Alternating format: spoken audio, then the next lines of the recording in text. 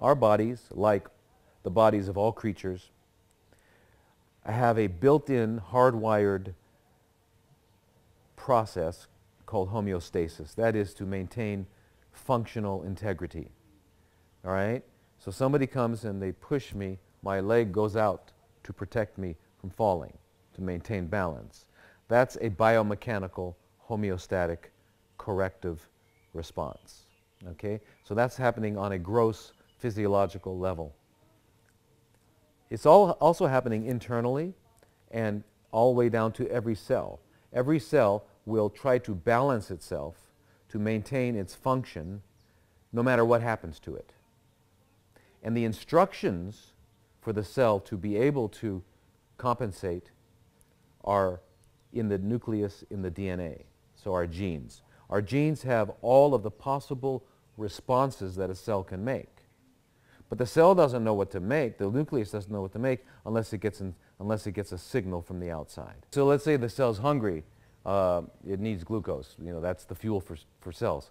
It needs glucose. So um, that signal uh, is communicated to the nucleus. The nucleus upregulates, produces, uh, turns on the genes to make more insulin receptors so it can get the glucose.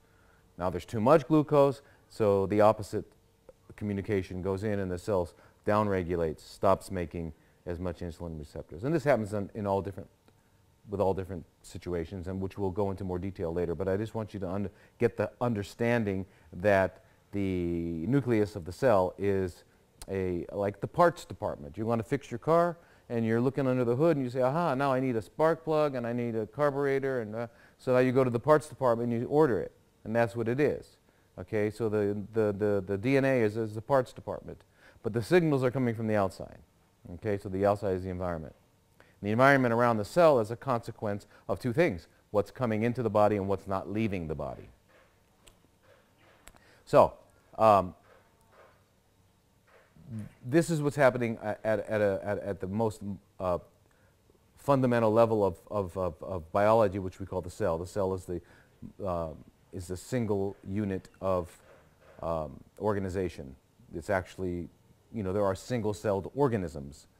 So in other words, a cell is like a little universe contained, contained in a small area.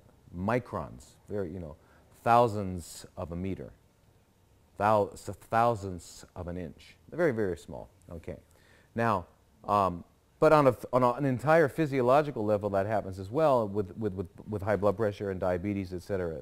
Those are really the body responding and trying to maintain its, its, um, its, um, its, its integrity, its ability to function.